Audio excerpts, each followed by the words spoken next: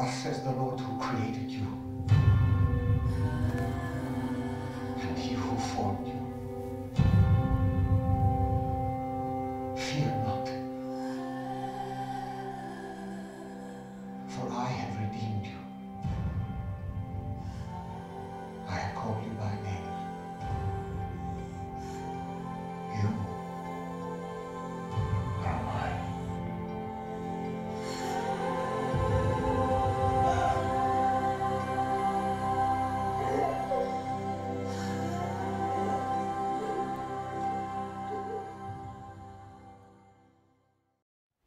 Mně se do toho nechce vůbec vstupovat. Bych chtěla vidět, jak to pokračuje dál. A... Ale uh, můj příběh byl dost podobný, jako tady Marie. a mm, abych teda se v krátkosti představila, moje jméno je Simona, uh, přijela jsem z Brna mm, na tohle krásné pozvání, jsem mezi vás, takže je mi ctí, že můžu být součástí. A nejsem zvyklá mluvit před tolika lidmi, tak Jednou mi Bůh řekl, že uh, je mi blízko, jako je tlukot mého srdce, tak teď ho mám blízko, protože svoje srdce slyším. Ale um, ráda bych uh, mluvila o kráse ženy a je to uh, strašně široké téma, vlastně nevím, co všechno nakonec řeknu a co neřeknu. Uh, omlouvám se, nemám žádnou prezentaci, nejsem technicky zdatná a spíš bych to chtěla pojmout uh, jako sdílením se takového mýho životního uh, svědectví a, a cesty. A uh, já jsem vyrostla ve věřící rodině, takže ten základ jsem měla, k Bohu mě vedli a, a um, věděla jsem vždycky, že Bůh je. Nikdy jsem neprožila nějakou takovou jako krizi a mnozí možná ano, jakože jestli vlastně, i když vyrostli v tom základu toho křesťanství, jestli Bůh opravdu je, tak uh, byly dvě věci, které jsem silně ve svém srdci měla. A to bylo to, že Bůh je a že je dobrý. I když je spoustu věcí, kterým nerozumíme a dějí se, ale, ale že je dobrý. A nicméně tohle nebylo to, co mě uh, na té boží cestě uh, udrželo. Takže já jsem, uh, když jsem, mě bylo nějakých 17-18, uh, tak jsem se zakoukala a vlastně najednou boží slovo a, a, a církev uh, se pro mě stalo něčím, co mm, mm, mě omezovalo, protože jsem chtěla dělat jiné věci, chtěla jsem zkoušet to, co nabízí tenhle svět. A mm, takže uh, jsem utekla z domu a uh, začala jsem všechny ty věci, které tenhle svět nabízí, zkoušet. No a uh, moje takový uh, takový zlom, který přišel v mém životě, protože jsem mě... Jsem si vypla mikro. Protože jsem několik let žila bez Boha, takže jsem si vlastně zkusila, uh, co to je být ženou bez Boha a co to je být člověkem bez Boha. A uh, musím říct, že bych za sebou nechtěla ani kamarádit na to, že se sebe vzít za manželku. Ale uh, to setkání s Bohem, který jsem měla, který on pro mě připravil a, um, a doteď tomu nerozumím a, a stále mě to překvapuje a fascinuje, bylo hrozně speciální, protože vlastně to přišlo uh, v době, kdy jsem to nečekala a, a ani jsem Boha nehledala. Uh, a přišel on, přišel on do té uh, největší špíny, ve které jsem žila a dělala jsem ty nejhorší možné věci. A přesto všechno jeho láska byla větší než to všechno zlý, co jsem dělala. A tenkrát to bylo to setkání, ten moment, kdy, kdy si pamatuju, dokonce, uh, jestli to můžu říct, tak uh, Bůh uh, se ke mně sklonil, když jsem byla uprostřed párty. Najednou jsem prostě začala vidět jinak, začala jsem vnímat najednou boží přítomnost a bylo to tak silný, že okolní svět pro mě přestal existovat a já jsem si začala uvědomovat, že tyjo, tak teď se děje něco většího, něco, co mě přesahuje. A, mm, a to, co bylo to, co, a, co mě vytáhlo z té špíny, byl to samozřejmě Bůh, ale, ale to moje ano, který jsem mu řekla, bylo na základě toho, kdy vlastně, eh, když si člověk představí, že každý nežijeme asi úplně dokonalý život a ani to jako úplně nejde, protože jsme pořád jenom lidi a děláme chyby. Ale když bych si představila to, kdy ke mně přijde Bůh a, a uvidí mě v tom, v čem, v čem, v čem jsem žila a ještě jsem si v tom libovala, tak bych čekala něco jako Simo, teď tohle jsem já pro tebe nepři, nepřipravila, já mám pro tebe jiné věci a, a proč děláš tohle a, a proč si udělala tohle, už si nedostala dost a podobně. A vlastně uh, bych čekala výčitku, uh, něco, co jsem věděla, že si zasloužím výčitky. Ale víte co, on, on přišel a jen mě dal zažít, jak moc mě miluje. A emoční pauza, pardon. a to setkání s touhle láskou, to bylo to, proč jsem mu už nemohla říct ne. A najednou jsem Boha zažila uh, najednou jsem Boha zažila uh, úplně jiným způsobem, než jsem uh, vlastně za ten svůj doposavadní křesťanský i nekřesťanský život zažila. A zjistila jsem, že on chce být Bohem, který je blízko, který je, který je hrozně blízko, který je tak blízko, jako je ten tlukot našeho srdce. A a chce s námi mluvit a nechce nám nic vyčítat. A, a vlastně tam začala ta moje cesta a, mm, a uh, abych se teda dostala ke svému tématu, já miluji být žena, mě to strašně baví a hrozně se mi líbí ten dar, který mi Bůh dal, že prostě můžu být žena. A um, prostě bych to neměnila. No a to byla, to byla vlastně věc, a proč jsem do toho zapojila to svoje svědectví, že vlastně já, když jsem žila život bez Boha, uh, tak jsem žila nějaký život ženy který byl ale pokřivený a zdeformovaný. A byl to život, který tenhle svět říká, jak by žena měla vypadat, co by měla dělat, nebo co by neměla dělat. A byl to život, který se nepodobá tomu, jak Bůh přemýšlel o ženě, když ji tvořil. A když jsem začala uh, se s Bohem tak víc seznamovat a začala jsem ho víc hledat, tak uh, uh, mě ani nenapadlo, nebo ani jsem netušila, jak moc je ten obraz té Simonik, eh, nebo ten můj život vzdálený od toho obrazu, který on o mě sní a, a který o mě on přemýšlí. A, mm, uh, je to vlastně jako hrozně moc propojený s identitou, uh, s identitou ženy. A co to je ta identita, že my jsme to tady už dneska slyšeli a, a je to takový zajímavý slovo, ale já vlastně jsem dlouhou dobu nevěděla, co to je v praxi, jak, jak uchopit tu identitu. A, a vlastně uh, začala jsem to chápat a poznávat až ve chvíli, kdy jsem to začala zakoušet a zažívat. Bez toho, aniž bych hledala, co to je identita, nebo bych se zkoušela to napasovat do svého života. Prostě a jednoduše já jsem tenkrát se zamilovala do Boha. To setkání s ním uh, způsobilo to, že, že tenkrát na té párty si pamatuju, že říkám, tak pane, já ti na tohle říkám svoje ano. A i když jsem měla ráda ten špatný život, ve kterým jsem žila, a i když, uh, uh, i když si nedovedu představit, jakým způsobem mě z tohohle vyvedeš, protože všichni mi přátelé, moje práce, všechno bylo prostě zaobalený špatným. A, a řekla jsem, pane, teď ty, protože já fakt nevím, ale říkám ti svoje ano. A, a tenkrát jsem se zamilovala a Bůh touží potom, aby jsme uh, se do něj zamilovali. A když se zamilujeme, to asi každý z nás nějak možná zakusil, že když je člověk zamilovaný, tak potom uh, ty věci, které uh, uh, dělá pro toho druhého, tak je dělá ne protože musí, někdy ano, ale dost často je to proto, že chce. A uh, já, když jsem se zamilovala do Boha, tak vlastně najednou... Pardon, to pauza. tak najednou eh, boží slovo uh, se pro mě nestalo, nebo nebylo pro mě už tím, čím bylo předtím, že to byla nějaká ohrádka, za kterou jsem nemohla a, a cítila jsem se provinila, když jsem to udělala. Ale najednou to pro mě bylo pocit bezpečí. A pocit bezpečí a zároveň poznávání toho, kdo mě stvořil.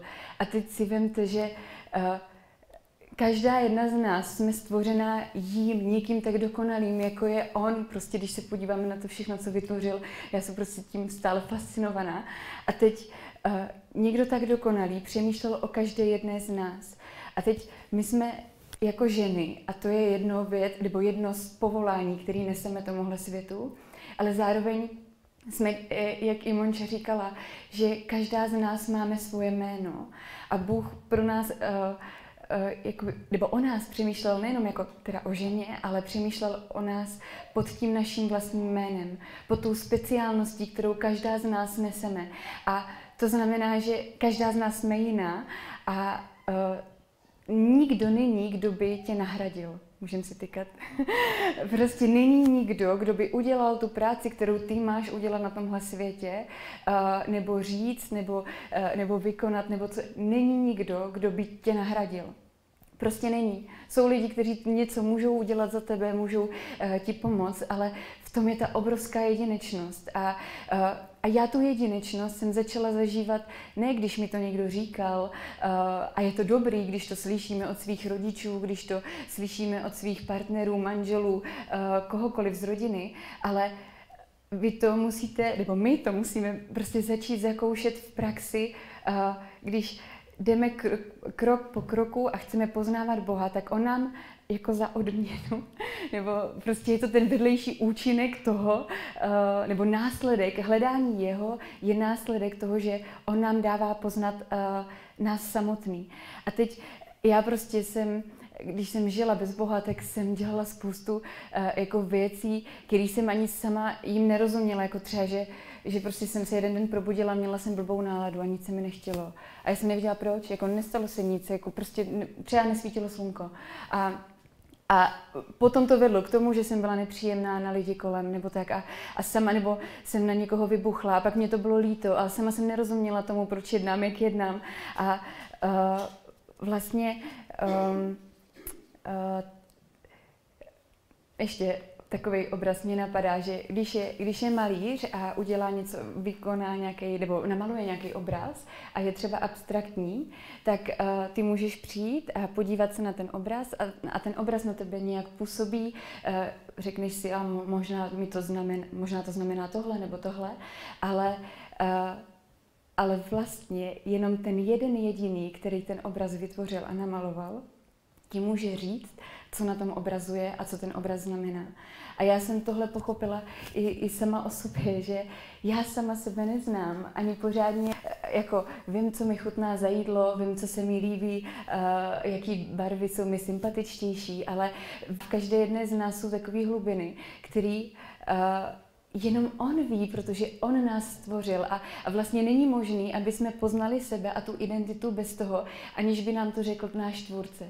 No a Uh, já se furt dostávám k té ženě, a, ale uh, no a, uh, a souvisí to, souvisí to uh, hrozně moc s krásou ženy. Uh, a, a to nejdůležitější vlastně uh, je být s ním, a protože on je dokonale nádherný, on je prostě, uh, když ho začneme poznávat, tak prostě se nestačíme divit a budeme jím úplně fascinovaný.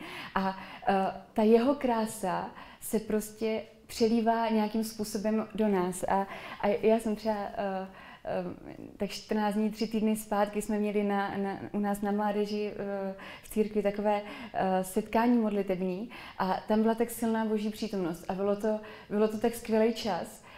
A, a já jsem nad tím potom už jako dál nepřemýšlela a pak jsem šla do světa, eh, do kterého jsme mi tady povolaný, že jo. Šla jsem do své práce, šla jsem uh, uh, s kamarádama a asi čtyři lidi ten týden mi řekli, hele, co ti je? Ty máš uh, nějakou lepší pleť, nebo uh, tobě ty nějak jako divně záříš, uh, jako co, co, ti, co se ti stalo?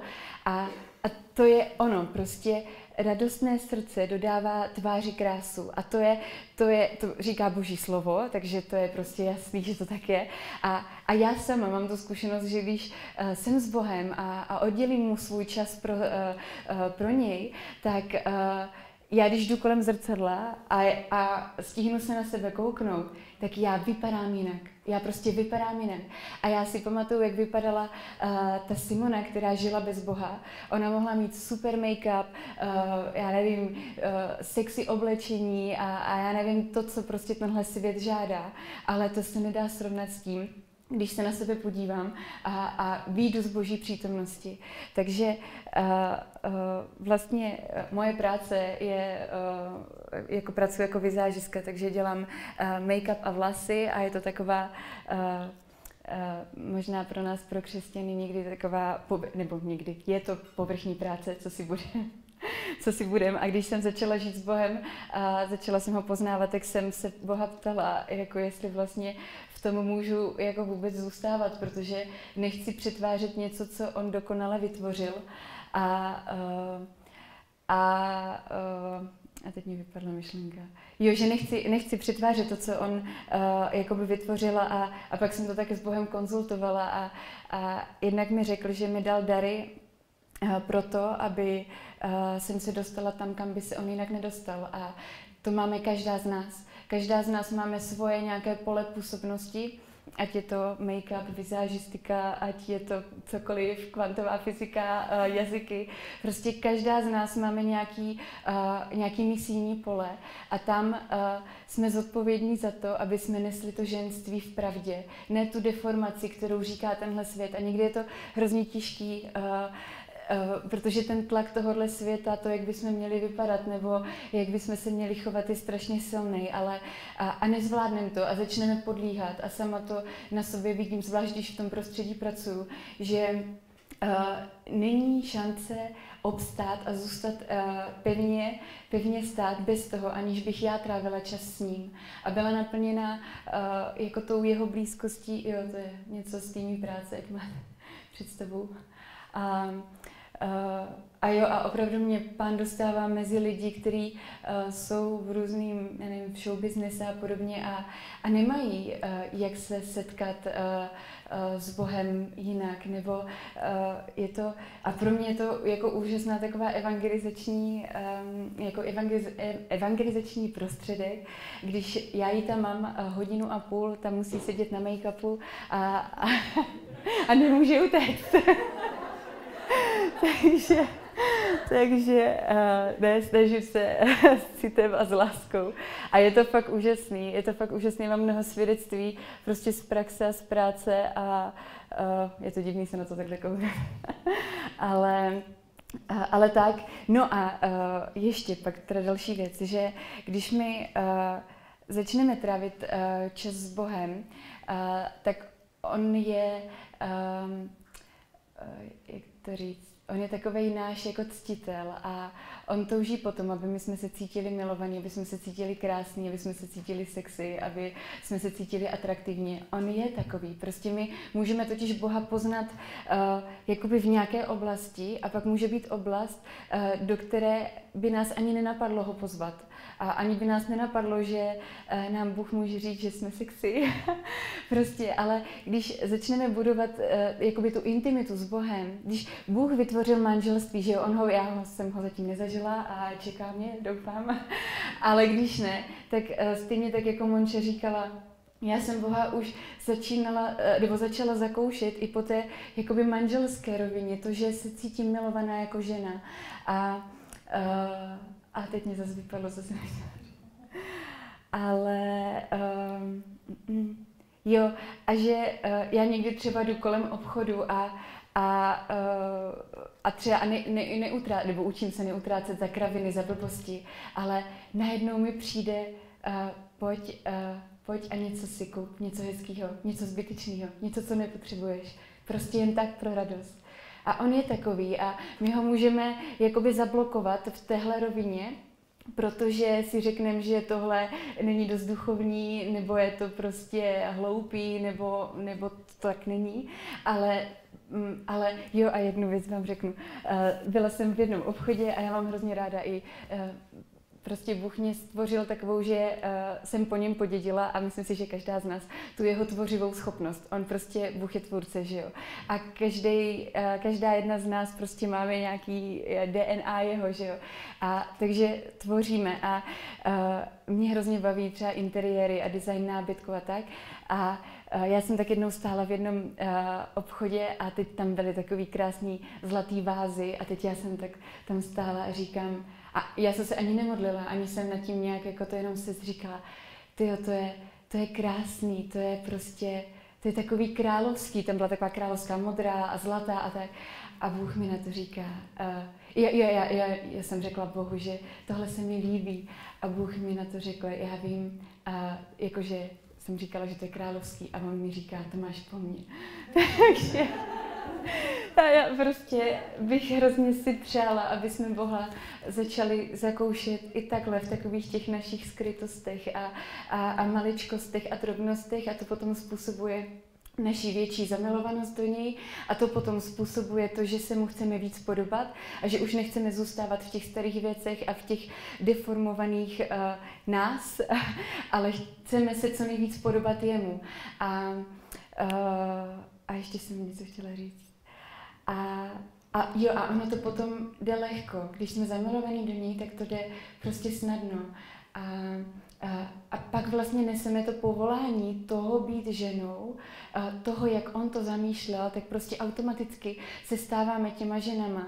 A ty ženy, protože mě chodí v práci ženy, které uh, mají spoustu předělávek a plastik a, a, a chodí utrácet za za make-upy a, a mají spoustu oblečení a všeho a vypadají tak, jak tenhle svět chce, aby vypadali, ale nejsou šťastní. Nejsou. A, a oni potřebují vidět to, že, uh, že žena uh, v církvi, jako ta Ježíšova nevěsta, kterou on si chce, uh, uh, chce si ji uh, opečovávat a chce si ji připravit pro sebe, tak uh, by měla nějak vypadat. A teď neříkám, že máme eh, chodit bez, s make-upem a podobně, to je hloupost. Prostě uh, já sama jsem od toho úplně svobodná, byť je to moje práce, mám to ráda, ráda tvořím a ráda se někdy hezky namaluju, ale je mi to úplně fuk. I kdybych tady měla stát úplně nenalíčená v nějakým pytli, tak je mi to jedno, protože prostě já vím, kdo jsem v něm a, a nejsem na tom závislá a to je důležitý.